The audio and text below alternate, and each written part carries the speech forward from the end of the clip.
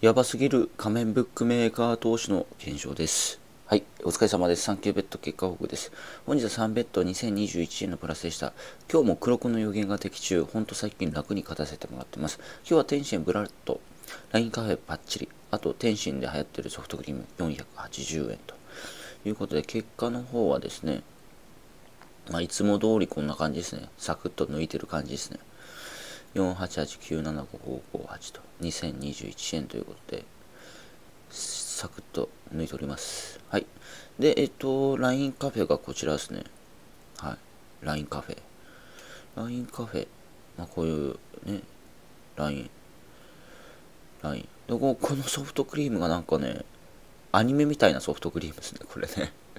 アニメなんかお坊ちゃまくんに出てきそうなソフトクリームじゃないですかこれはね。はい。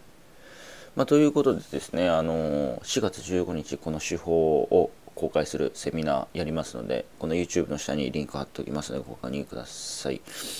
まあ、僕はですね、えっ、と、今日ですかね、今日、えー、鹿児島の方に一旦帰りまして、お仕事して、まあ、鹿児島から福岡セミナーに乗り込むみたいな感じなんですけども、いや、大阪も終わりまして、次、福岡と。はい。うん。お待ちしております。結構ですね楽しみにしてますっていうようなメッセージも何件かいただきましてはいよろしくお願いします。はいではまあ本当にねこれずっと勝ってるんですごいと思いますけどもすごいと思わない人は来ないと思うんですごいと思う人は来てください。終わります。ありがとうございました。